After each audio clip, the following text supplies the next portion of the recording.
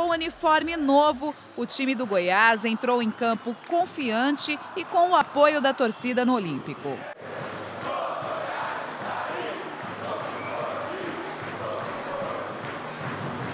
O Esmeraldino tem dificuldade no começo do primeiro tempo.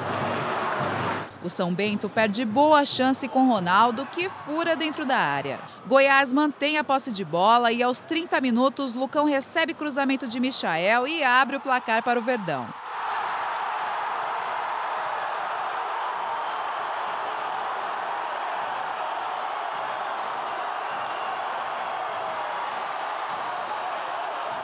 Em resposta ao gol esmeraldino, Tony cruza rasteiro e Vitor Ramos faz o corte.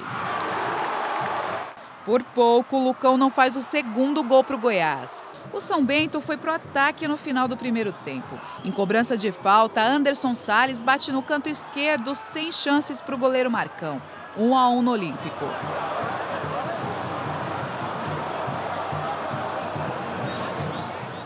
Segundo tempo, Goiás pressiona o time paulista. Michael dá trabalho para a defesa do São Bento. O atacante rouba a bola e faz mais um cruzamento. Dessa vez, Giovanni que chega e toca por baixo do goleiro Rodrigo. 2 a 1 para o Esmeraldino.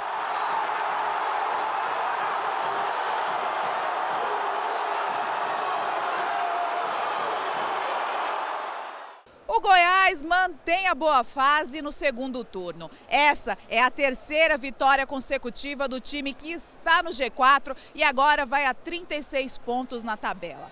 O próximo desafio esmeraldino é o clássico contra o Vila Nova, que acontece no próximo sábado no Serra Dourada. Que tem tudo para ser um bom jogo, né? É um clássico. Esperamos primeiramente recuperar a nossa equipe, né? É, fisicamente para o jogo, né? Porque o jogo ele tem um grau de importância maior, né? É o tipo do jogo que você tem que sacar da competição, né? E teve torcedor ilustre saindo feliz do estádio. É maravilhoso, né? Ganhar é sempre bom, né? feliz estar aqui, estar bem aqui, nos divertir com os amigos, os jogos. O pessoal que te adora, né? E eu também adoro estar aqui. Eu adoro as pessoas também. A torcida do Goiás é boa, né? Nossa, estou animadíssimo. Felizmente o time está indo muito bem, né? Maravilha, vou torcer para ele sempre.